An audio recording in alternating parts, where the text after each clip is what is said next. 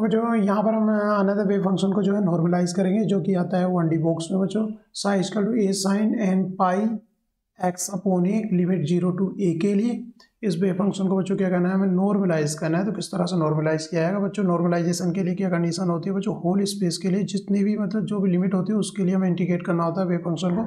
Sai square यह क्या complex conjugate psi D tau D tau यहाँ वन डायमेंशनल बॉक्स है केवल एक ही कोऑर्डिनेट है और डी एक्स बच्चों ये जो आता है कहाँ से आता था बच्चों ये बोर्न इंटरप्रिटेशन है। बोर्न ने क्या कहा था किसी पर्टिकुलर पॉइंट पर जो आ, किसी पर्टिकुलर पॉइंट पर जो प्रो प्रोबेबिलिटी होगी इलेक्ट्रॉन के फ़ाइल जाने की क्या होगी वो साई स्क्वायर डी एक्स होगी वन डायमेंशन के लिए।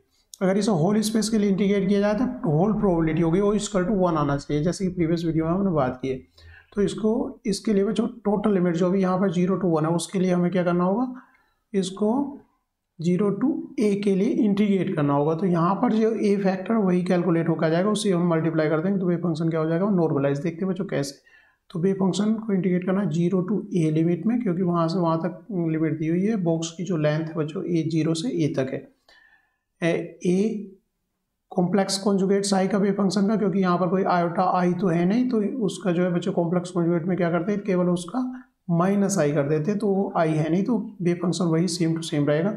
I sine N pi upon A X into A sine पहले साई स्टार की वैल्यू रखी, फिर मैं क्या किसकी रख रहा हूँ, साई की value A sine N pi upon A X D X.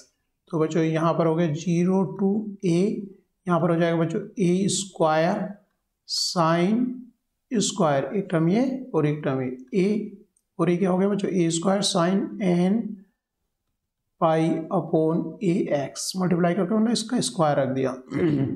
क्योंकि ए जो है बच्चों, ये तो कांस्टेंट है और कांस्टेंट का तो इंटीग्रेशन होता नहीं। कांस्टेंट बाहर निकल आता है इंटीग्रेशन से तो क्या हो गया? A square zero to A sine square N pi upon A X D X बच्चों साइन स्क्वायर का जो इंटीग्रेशन होता है, यहाँ पर ऑलरेडी मैंने लिखा हुआ है ज़ीरो टू ए लिमिट के लिए, इसको हम अलग से सोल्व करेंगे, किस तरह से क्या आता है बच्चों ए बाई टू आता है। तो क्या आया बच्चों ए स्क्वायर डॉट कितना आया ए बाई टू आया।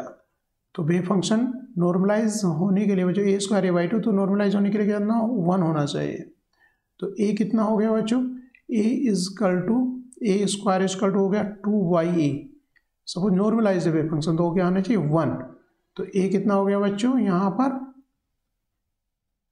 रूट बाई ए ठीक है तो ए फैक्टर ये होगा, अगर इससे मल्टीप्लाई करेंगे तो हमारा जो वे फ़ंक्शन था बच्चों साइज़ कल टू ए साइन जो हम वे फ़ंक्शन एन पाई जो हमारा वे फ़ंक्शन लेकर चले थे बच्चों N pi X upon A X upon A तो ए क्या निकल का है? नॉर्मलाइज तो होगा अगर हम मल्टीप्लाई से कैसे root two upon A sine N pi upon A X अगर उसको मल्टीप्लाई कर दी जाए तो क्या हो जाएगा? वे फ़ंक्शन हमारा नॉर्मलाइज होगा। ए वही, ये ये होना चाहिए बच्चों। या फिर अदर वे में बच्चों हम इस चीज़ को इस तरह से भी लिख सकते थे कि इसके इज़ इक्वल टू क्या होगा बच्चों? ये जो आया, ये क्या आया? हमारा, यहाँ पर एन आया। ठीक है? तो एन ये आया तो हम क्या करते थे? बे फ़ंक्शन को हमने जैसे कि पीछे उसमें बात की है, बच्चों, क्या करेंगे एन जो भी wave function normalize wave function क्या होगा? नॉर्मलाइज वे फ़ंक्शन, जैसे पहले तरीके से अगर वो फॉलो करना चाहो नॉर्मलाइज वे फ़ंक्शन क्या होता है? Psi upon square root of N कर देते हैं। ठीक है? तो चीज़ वही है। तो यहाँ पर बच्चों साई हमारा वे फ़ंक्शन क्या है? A sine N pi X upon A उसको डिवाइड कर दूँगा इसकी स्क्वायर रूट एन से। A square A by two A square A by two तो बच्चों ए स्क्वायर बाहर निकल कर आएगा ए तो ए से क्या कट जाएगा बच्चों? ए कट जाएगा क्योंकि स्क्वायर रूट से बाहर आएगा तो ए आएगा। तो यहाँ पर क्या हो गया? नॉर्मलाइज होगा wave function two by a sine n pi x upon a ठीक है बच्चों, इस तरह से बता दिए जैसा कि हमने नॉर्मलाइज वे फ़ंक्शन होता है, जो फैक्टर एन आता है उसके स्क्वायर रूट से डिवाइड करते हैं, उस तरह भी यही हो गया।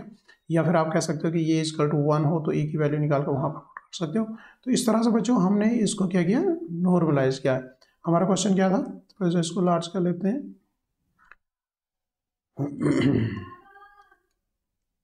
यहाँ पर हमारा फ़ंक्शन था नॉर्मलाइज करना था बच्चों, ये वे फ़ंक्शन था तो उसको हमने इस तरह से बच्चों क्या किया? इंटीग्रेट करके और हमने नॉर्मलाइज वेव फ़ंक्शन ये कैलकुलेट कर लिया है। Thank you.